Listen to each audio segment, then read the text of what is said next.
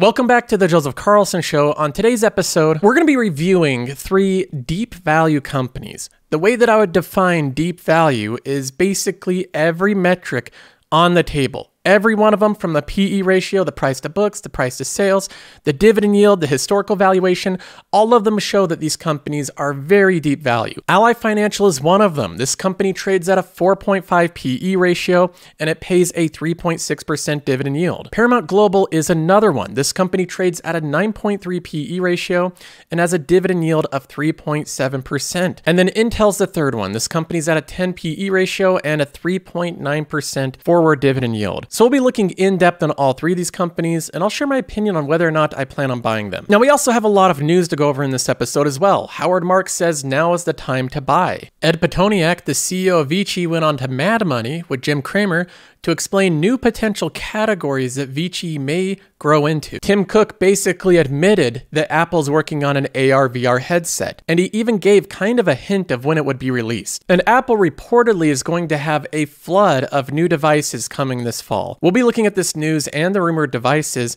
and what it could mean for Apple stock. So we have a lot to jump into. Let's go ahead and get started. First of all, looking at the last week, if I filter by the past five days, we're up 6.89%. That's $21,178. So this was actually a decent week. Stock prices moved up. We earned $1,000 in dividends in one week, $20,000 in capital gains, and that's nice to have. But I really don't pay attention to this too much. It's interesting to look at, but these stock prices trade around week by week like crazy, and timing these moves is very difficult. A week ago, there was many people, many content creators, many YouTubers, many TikTokers, many financial Twitter accounts saying to not buy the dip, to stay away from it. And here we are up 7% in the past five days. This is the risk of trying to time the market that I've repeatedly warned people against. It is incredibly difficult to do, and most people don't come out successful. I'm not doing that. I'm staying invested in these companies and I'm continually compounding my passive income. I record this level of passive income on a website that I use called Qualtrim Insights. This is available to all Patreon members. You can see the growth of it month over month throughout time, and I'll be adding in June's dividend income at the end of the month. So next week we'll see how much I earned in June. But I'll give you a little bit of a preview. So far in June, we've had a total of three dividend payments.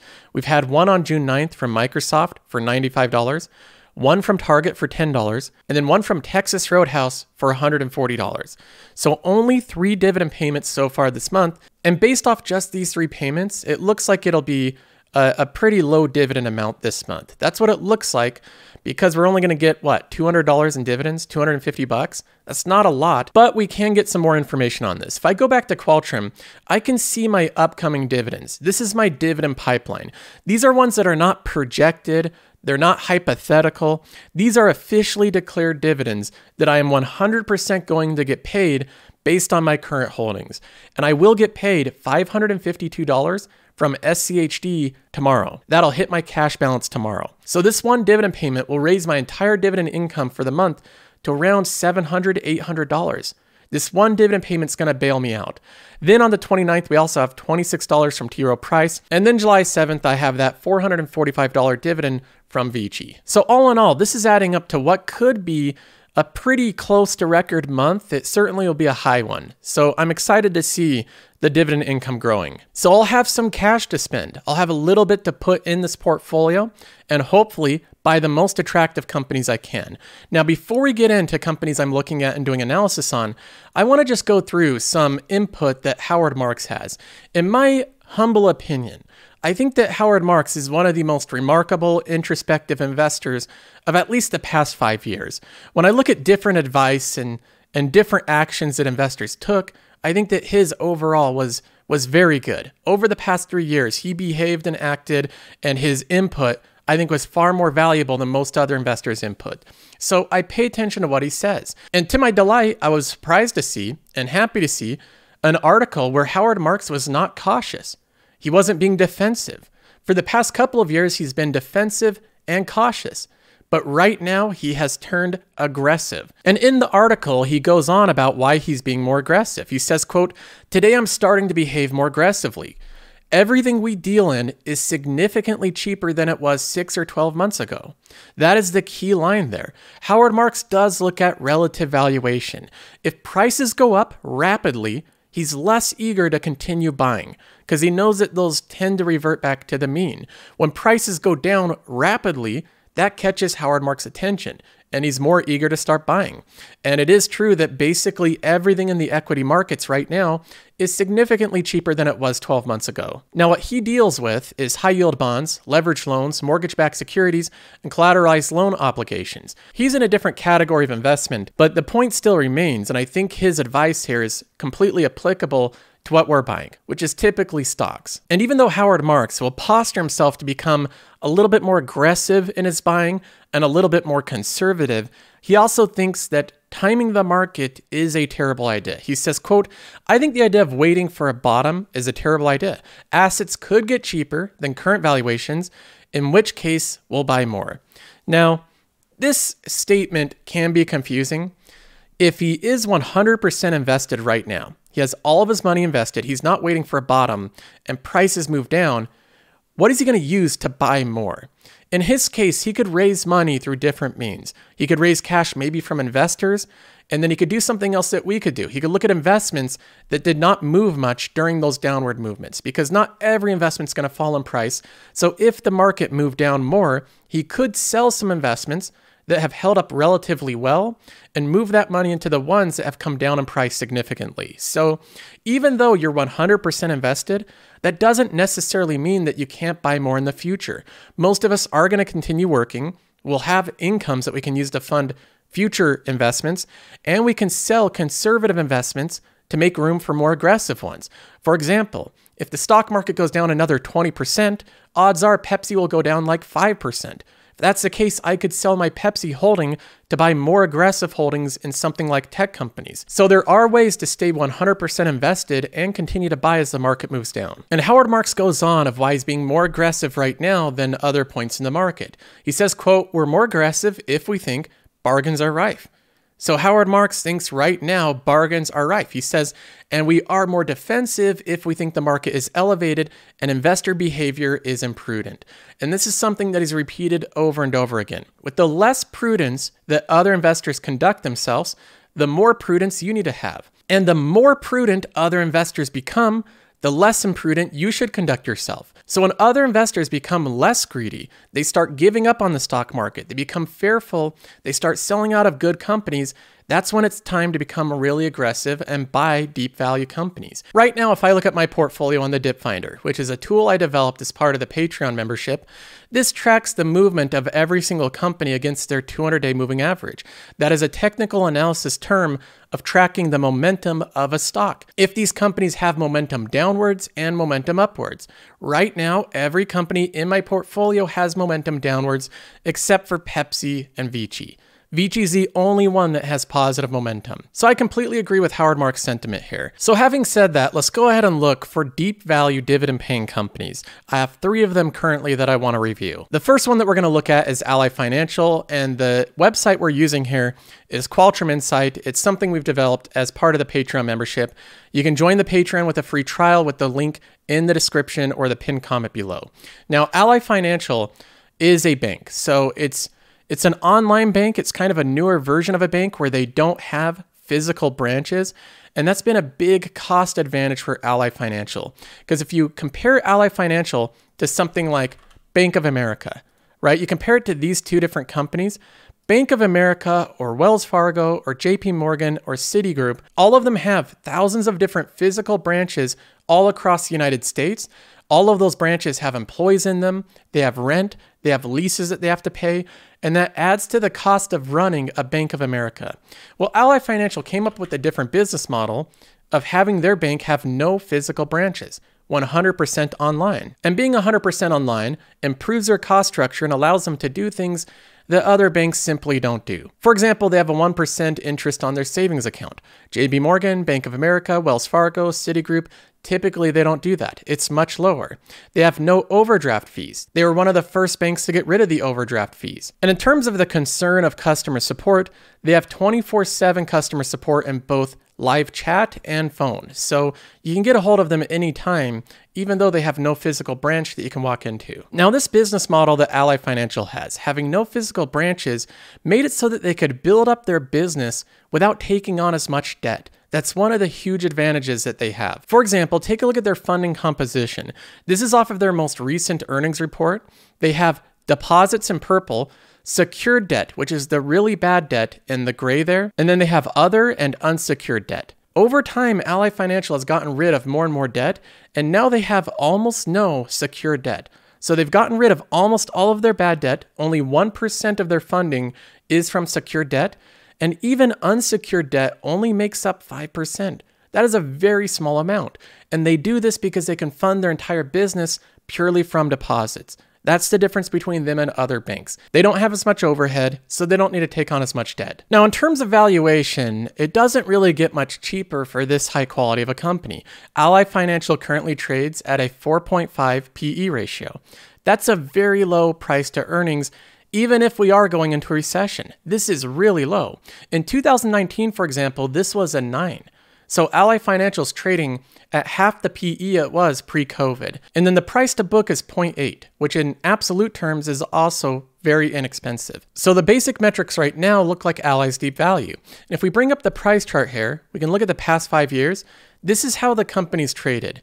In 2017 to 2019, the company traded around 25 to $30. That's the price range. Then, of course, it sold off during COVID with everything else. And then it started its steady climb all the way back up to $55. Investors were excited during this time. All of financials, including JP Morgan and other big banks, traded up to record highs. And now the excitement has fizzled off and it's been replaced with fears. Many fears concerning their future. And right now the company trades at $35 per share, which you'll notice is right around where it was pre COVID in 2019. But things have improved dramatically for Ally Financial since 2019. We've already seen that their balance sheet, their deposits, and their debt have all improved. They've had more deposits and less debt. That's a good thing.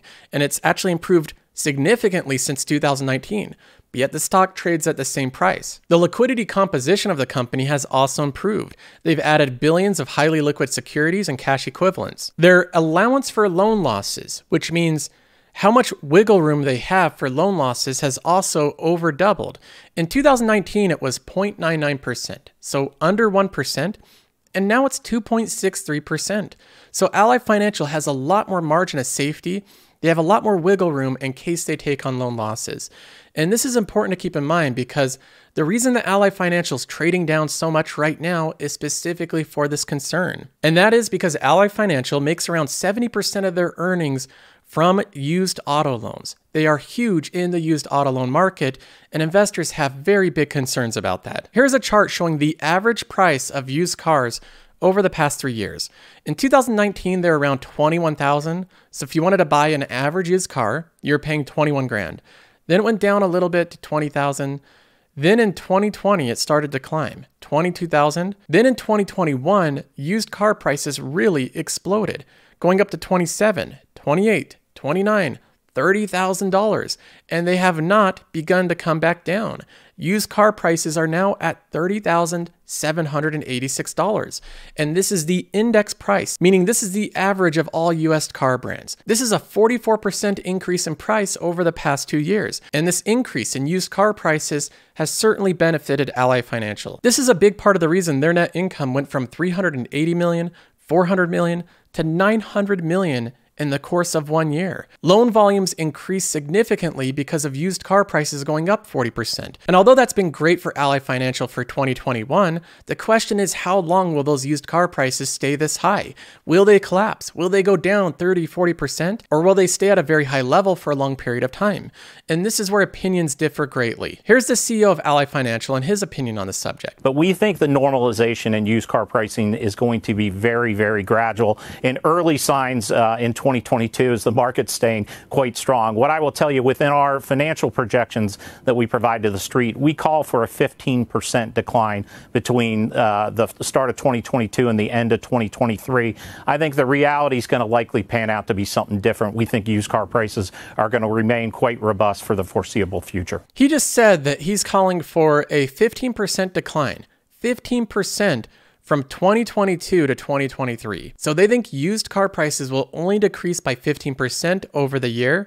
And he even says that those estimates are conservative and more than likely it'll go down less. Now, Ally Financial's thoughts on the subject differ greatly from other YouTubers and people that work in the industry. Here's one example that recently got highlighted the used car bubble. Lucky Lopez here goes to a repossession lot and says that repossessions are picking up because people are underwater in their used cars and they're going to start ditching them, which would cause loan losses for investors in Ally Financial. He goes to parking lots where there's repossessed vehicles or unsold vehicles and he shows how many of them are coming in, that more and more repossessed or unsold vehicles are filling lots, and there's actually going to be a car influx, not a desperate need for them like we have right now. There's also another piece of data I looked at from KPMG, which is the used car price market and whether or not it will crash. In it, they have a section called When the Music Stops, Nature Abhors Vacuums, and Markets Abhor Imbalances.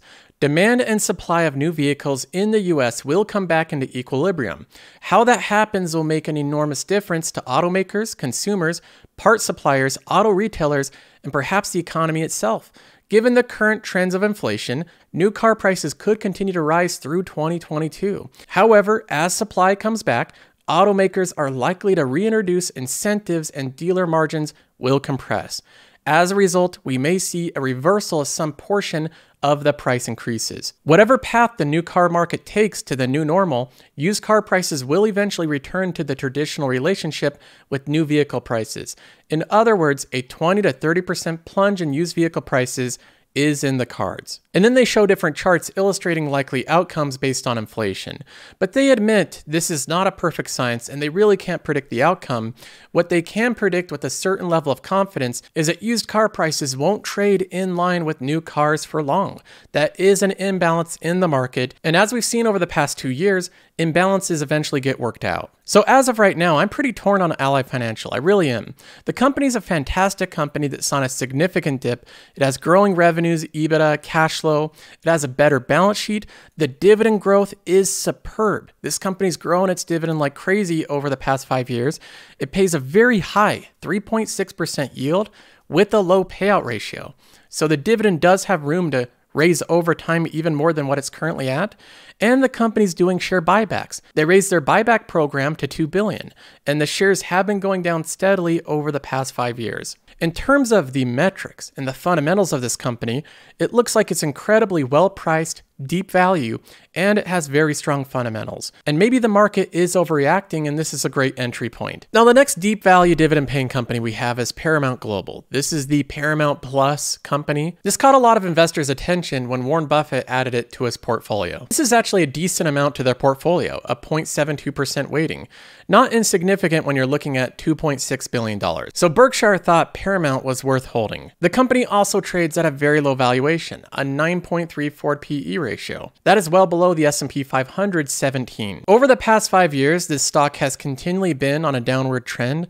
It dipped heavily in 2020, then it skyrocketed when Bill Hwang used his $20 billion of leverage to bid it up to $94 a share. All that leverage quickly got unraveled back to where it was at $41 a share, and now the stock price is all the way down to $25 per share. Now, over that steady decline in stock price, a lot has changed. Viacom and CBS merged together in 2019 to form Paramount Plus. That's why you see the rapid increase in their revenue, going from 14.5 billion to 27.8 billion. This was because of a merger. This also caused their EBITDA decline.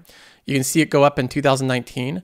So even though the EBITDA is going up, like many content companies we've seen, similar to Netflix, the free cash flow is going down because they have outflows of cash to pay for content that they will hopefully monetize by new subscriber gains. And this is where the difficulty of the story comes into play. The free cash flow is going down over time because the economics of cable companies is well proven to be very good economics, very profitable. The economics of streaming businesses is not yet proven to be very profitable, and you can see that through the free cash flow line. So as they make this transition from cable company to streaming company, it's very similar to what Disney's doing, and there's a lot of volatility and unknowns in the process, but they are driven to make this a successful and profitable change. Now, the balance sheet shows that they have a lot of debt. In fact, if we filter by the amount of debt, you can see that in 2019, with that deal, their debt roughly doubled. and right now it's at 18.3 billion. But this debt has been moving in the right direction, down from 21 billion to 18.3 billion. So their debt's going down and their cash balance is increasing over time. Two things that I like to see. And as of right now, their debt really isn't considered a problem.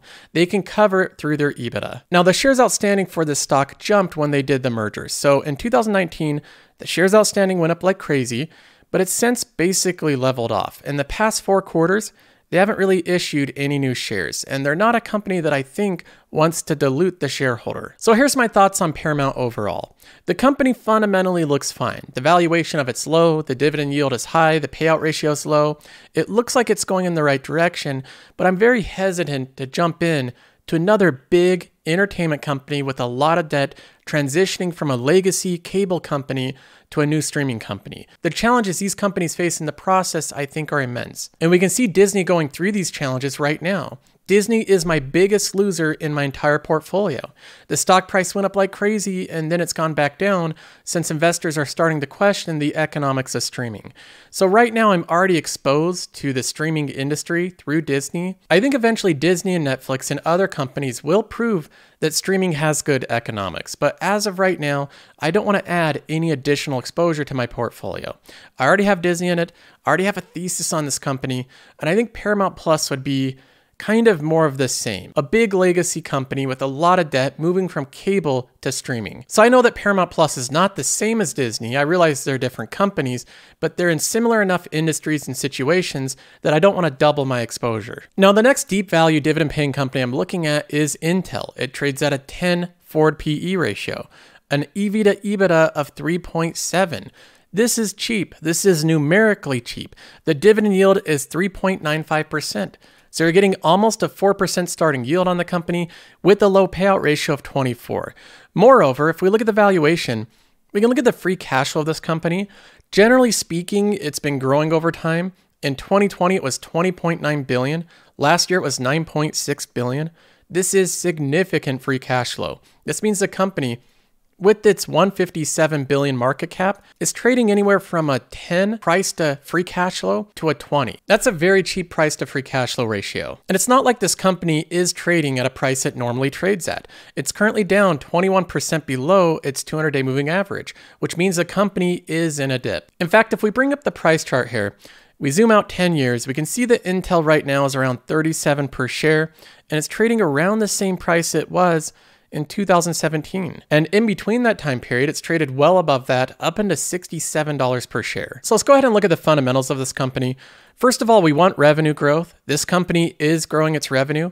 Even though it's an old company that's getting beaten up by AMD and Nvidia, they're still growing revenue, which is something reassuring to investors. Another thing we want to see is the EBITDA growing over time, and clearly the EBITDA is growing, especially over the past four years. The free cash flow, like we've seen, is generally speaking growing over time. This won't be perfectly consistent every single year, but you can see the trends. They are pumping out a lot of free cash flow every year. Their balance sheet actually looks really good. They currently have $38 billion in cash, $32 billion in debt. So this is actually a company that's cash rich. They have more cash than debt. And Intel also has been a very consistent dividend payer. They haven't grown it consecutively every single year.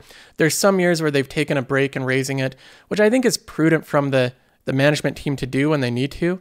But you can see over the past 10 or so years, you've had pretty significant dividend growth with this company. Now, this is a company that historically has done a lot of share buybacks. So they've been paying a dividend and doing share buybacks, returning most of the capital immediately to shareholders. But you can see that over the past couple of quarters, They've taken a break from it, and I believe to do more capex spend. They're trying to reinvest back into the business to compete with AMD and Nvidia and other chip makers. Because we can see, if we look at the capex spend, that it's gone up quite a bit over the past five years, and this can be viewed as a positive or a negative. For Intel investors, I view this as a positive. They have to spend heavily to continue making money and maintaining a competitive advantage. So I think this $20 billion in capex spend is probably well spent. So overall, Intel's another good dividend paying company that I think is in deep value territory. The big assessment here is whether or not you think this company can continue to compete with the likes of AMD, these companies have really raced ahead in their technology, and Intel is kind of in catch up mode. You can see the revenue growth of a company like AMD. This is what they're competing with. Nvidia is another one. This company's raced ahead in technology, leaving Intel in the dust. So these are the issues that Intel's dealing with. And I don't think that it's it's a death sentence for Intel. I don't think it means the company's a bad investment. It's just a judgment from the investor. Do you think Intel will continue to grow and keep up with competition, or will it get steamrolled by AMD? And my big reservation that I've always had with Intel is them keeping up with competition. In fact, out of these three companies, the one that I'm closest to buying, the one that I think has the best story, the best fundamentals, and the least amount of overall risk to its future is Ally Financial. This is one that I really could see myself buying in the near term future. I think that there's a decent chance that the concerns with Ally Financial are being overstated by the market.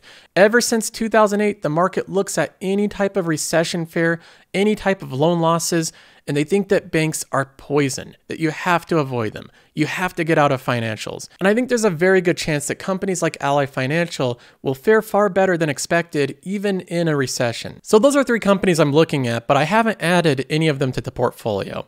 And in the meantime, I will be using my cash balance to reinvest. So if I can't find any new company to buy currently, I'll deploy my cash into my current holdings. The way I do that is pretty simple. I just look at which company is selling off the most. I go in and add to the ones that I think have the best combination of their current future outlook and the lowest price. Now, moving on, I want to jump into some news here. One of my largest holdings, which is Vici Property, the CEO went on to Mad Money last week and he shared with Jim Cramer some some different categories that Vici's looking into expanding into, different real estate that they're in talks of buying, and I want to give my reaction to this. Now, before we jump into this clip, I have to mention today's sponsor. You probably know them. It's FTX US, which is one of the largest US regulated crypto exchanges. And this company's been on a sponsorship spree. You've seen their name all over the place from the Miami Heat Arena. They sponsored Steph Curry, Trevor Lawrence, Tom Brady, Kevin O'Leary, all these different bigwigs because they want to get their name out of their product and platform. Most people are familiar with FTX as a large cryptocurrency exchange. And it is true, if you're into cryptocurrency and you like trading this, you can go in and trade cryptocurrencies on FTX with with minimal fees. So their fees are far less than most of their competitors. They're also very well backed, so they're a lot more stable. They were just valued at $32 billion. Uh, so it's a pretty big, stable company, and they're moving into different categories. One of them that they're moving into right now, and this is currently in beta with thousands of testers, is their stock trading platform. This is what they wanted to sponsor me and get get more people aware of. They're moving into stocks and they're doing this aggressively. They have a lot of ambitious plans with it. For one, you can simply go in right now, do buys and sells of any company during market hours. You can do fractional shares or whole shares, and you can also trade without worry of them selling your information for payment for order flow. A lot of the other brokerages are doing that right now. FTX doesn't do that, and there's no fees with their trading. So go ahead and set up your account right now. It takes two minutes to do. It's completely free. There's no bait and swish. There's no upsells or anything like that. You simply open up an account. When you're opening up the account, use the referrer code Carlson my last name. That lets them know that I sent you, it helps support the channel. And when you use that code Carlson, you will be automatically credited $10 when you do your first $100 trade. So your first $100 trade, you'll automatically get a 10% return. So there's a link in the pinned comment below if you want to sign up now.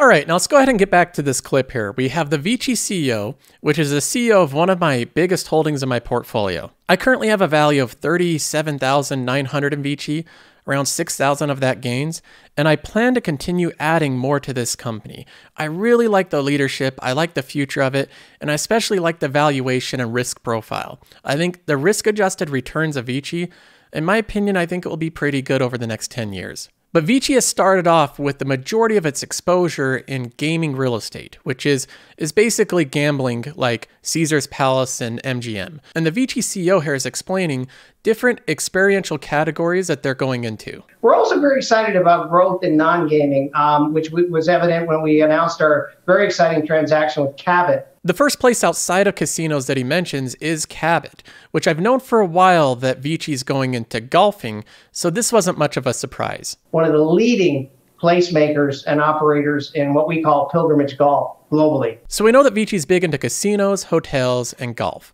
But what other categories might they be looking at? Now, Jim asks him if they plan on doing deals with the NFL, and Ed has a different category of sport in mind. We, we, no, we haven't cracked the NFL yet, but I will tell you that um, that global soccer, global football, is a category we're intrigued with, a category in which we are having some initial discussions. And global soccer, global football is a category that they're having initial discussions with.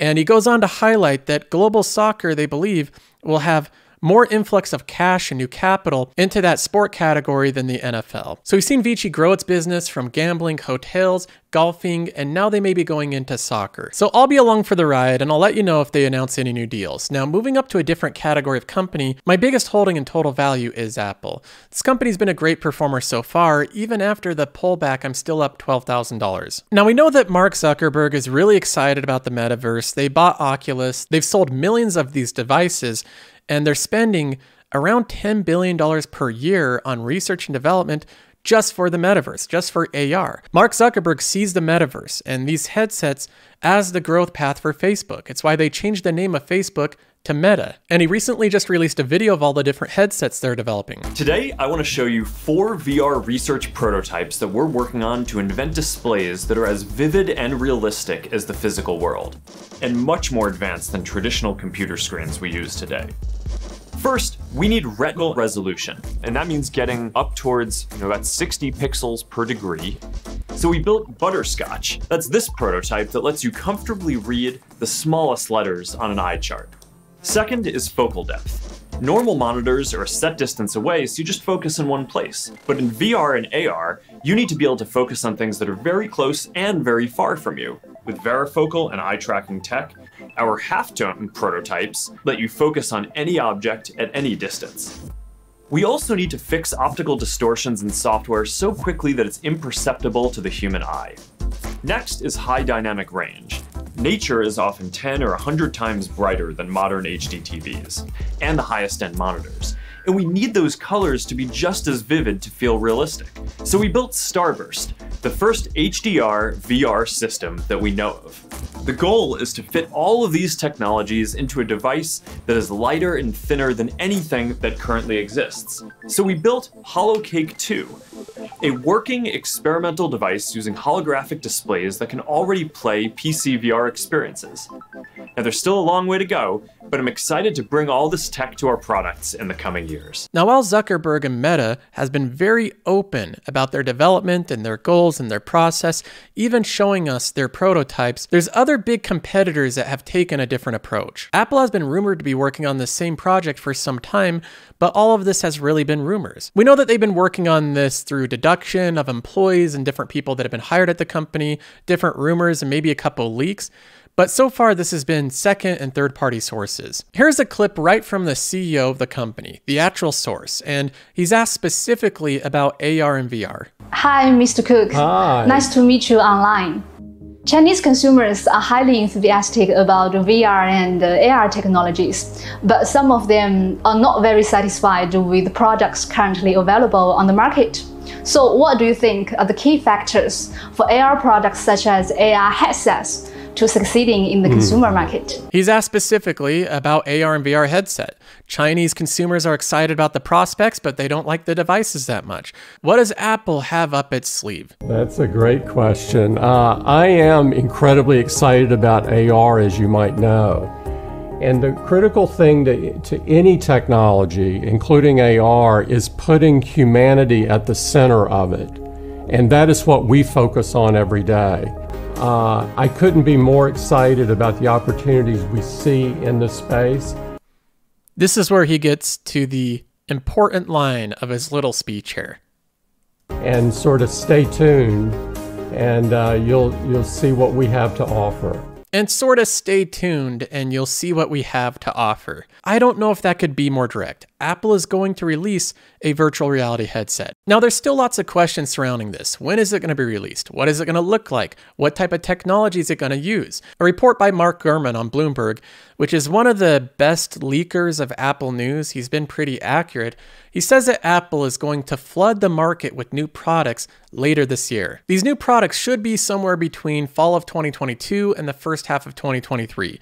The new products will include four iPhone 14 models, three Apple Watch variations, several Macs with M2 and M3 chips, the company's first mixed reality headset, so they're calling it mixed reality, low end and high end iPads, updated AirPod Pro earbuds, a fresh HomePod, and an upgraded Apple TV. Sounds like they have a number of devices in store. Now, Mark also goes into more detail on the mixed reality headset. He says that he's told the latest internal incarnations of the device run the base M2 chip along with 16 gigabytes of RAM. That's pretty powerful. That's like a lot of high end laptops having the M2 chip and 16 gigs of RAM. They also say that they're already working on the release of the M3 chip, the successor to the M2. Again, technically, these are rumors, these are reported from third parties, but when Tim Cook himself is saying, just wait and see, see what we have in store, I think he's giving some validation to the fact that they're going to be releasing an AR headset. And I've said this many times, and I know that it upsets people when I say it, because Facebook's an undervalued stock. Lots of value investors have piled into it. In many cases, it's their biggest holding. But again, if I have to choose between Facebook's AR VR headset and Apple's, which one I think will be the most successful, I much rather bet on Apple's hardware division and their developer base. I think in both cases, Apple's ecosystem, their developer base, and their hardware team is far superior to Facebook's. So when I look at the two options, I think that Apple is going to run away with this category. That's my prediction. I think they'll make Facebook become a small player if Apple does eventually introduce their own VR headset. Now, that doesn't mean that Facebook's not a good buy, it can still be a good investment, but if I'm talking specifically about these two companies competing in AR and VR, I will bet on Apple every day of the week. Now, that's all for now. I hope you enjoyed the show, and I'll have more content out later this week. So if you haven't already, subscribe to the channel, and we'll have another update out this week.